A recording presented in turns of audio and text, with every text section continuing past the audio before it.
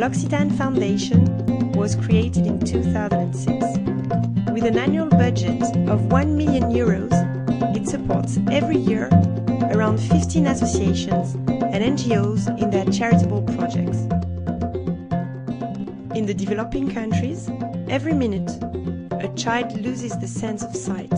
However, 80% of these cases could be avoided. As L'Occitane is a sensorial brand, its foundation works with the senses and has chosen to support the visually impaired. In France, it promotes their professional integration through training and grants for employment. In developing countries, it's involved in the fight against avoidable blindness, working to provide ophthalmologic care to disadvantaged populations. In this way, more than 500,000 people have received eye care.